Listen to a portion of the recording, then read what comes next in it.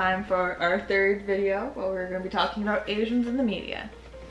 So, question number one.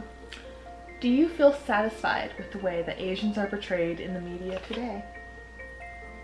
Mm, well, no. I don't feel like Asians are actually portrayed very often in the media. Mm-hmm. And often when they are, they're pretty stereotyped.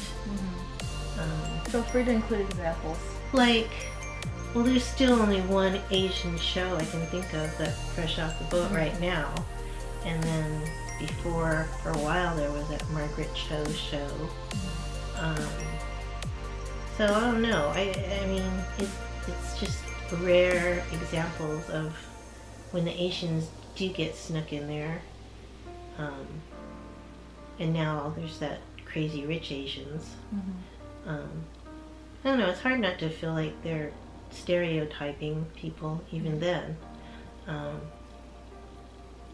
but I guess that's the closest that we've gotten to like a sort of more normal sort of sitcom sort of family situation. And I guess people can relate to that just in general, even if they are a certain culture. I still think, yeah, they are still like stereotypes. You know, like the Asians pushing their children to get perfect grades and things like that. Yeah. Or running convenience stores and laundries Mm. or restaurants. Alright, our next question. Which character or movie or TV show do you feel you've been able to relate to the most?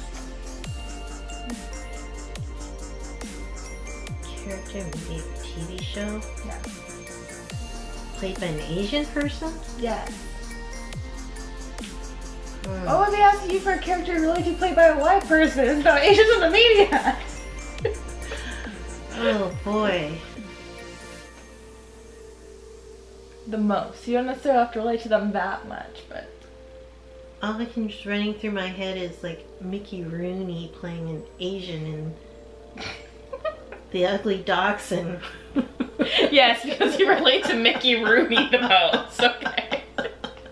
being offensive, being so offended that a, non-Asian person is playing an Asian person. Um, an Asian person. Mm-hmm. That's a tough one because there aren't that many Asians. There's Mhm. Mako, who's like the token Asian actor that was out there. Um, Pat Morita. Jan Yanehiro that was on the news. She was on a talk show. Um, Connie Chung. I don't know. It's it's, it's uh, there's not a whole lot representing the Asians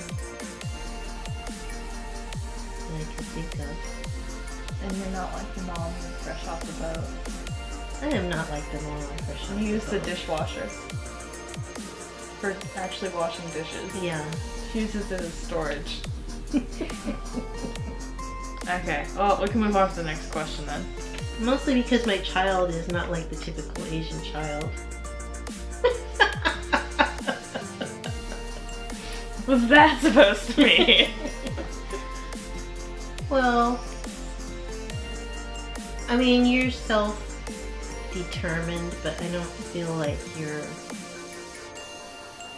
uh, beating yourself up trying to be like perfect or anything. Yeah. So, I But mean, also because you're, like a- not like tiger mom that's like Well, even if I was Tiger Mom, I don't. you would be resistant to that. Okay. If I was going to be that Mhm. way, but I'm not that way. Okay. But even if I were, then I don't think you would have.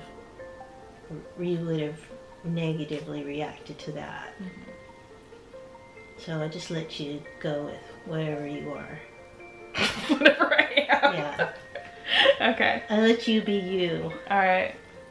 Okay, our next question. This is a two-parter. And you kind of got into it a little bit already. Alright. So, what are your thoughts on whitewashing? And also on actors being cast to play a different ethnicity of Asian from what they are. So, like, we kind of talked about this the other day with Crazy Rich Asians coming out and how there's all the, like, uproar about it because most of the actors that are in it aren't actually, you know, from Singapore, that don't have the exact same, like, ethnic and background and everything as the characters that they're playing. Yeah, that doesn't bother me as mm-hmm. much. I guess just because the pool that they have to choose from is, I don't know, maybe it's not as diverse as mm-hmm. it could be for actually specifically casting for every certain race. Mm-hmm. So, I mean, I guess I can see that a necessity for they might do that.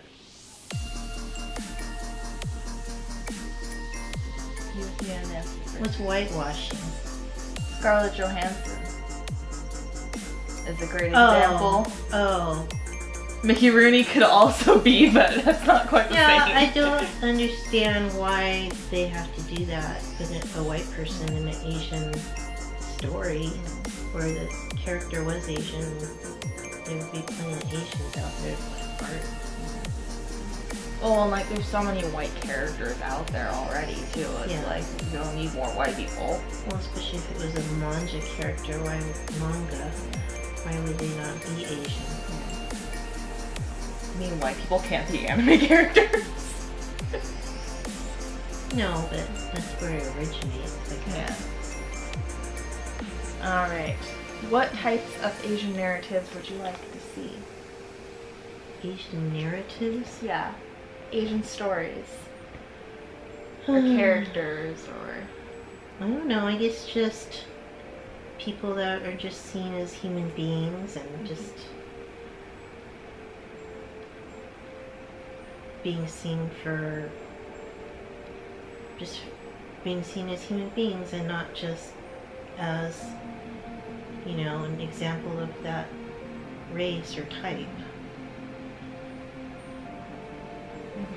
Well, my thing with that is, what I like to see is less ca- like cases where I feel like a lot of the Asian characters are either first generation or second generation, and then being second generation is like a huge part of their character and their story.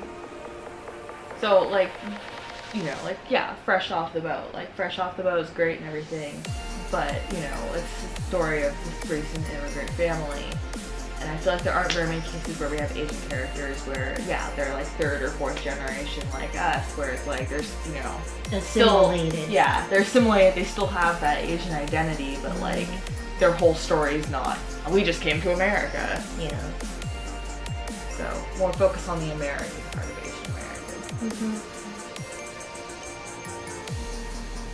Do you have anything else that you would like to add about this question or anything else about Asians in the media?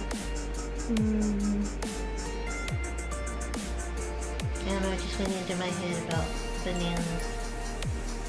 Like bananas, like yellow on the outside, white on the inside, or just like Yeah, okay. but, um, yeah, but I don't, I don't know. Am I a banana? Maybe. I don't know. I'd say you are. Well, I'm probably more Japanese than a lot of Japanese people my age. Mm-hmm. I mean, we like yeah, our family But then- still does like a lot of cultural stuff, but I don't know. But then I guess going to Japan made me really feel like I was an American. Yeah. But I feel like compared to some of the Asian moms that like I grew up with, of like you know other kids that were in my class and stuff, like in comparison to them, yeah, I'd say you were a banana. Oh. Since you weren't the tiger mom and Oh. Well, I thought our, our family's you majored in art. I thought our family's pretty, um. Well, we still practice a lot of the cultural things. And. I mean, I don't speak Japanese fluently, but, you know, I do know a little bit here and there, so I do feel like I know some things about our culture. But, um. But But yeah, going to Japan really made me feel more like I was really an American after all.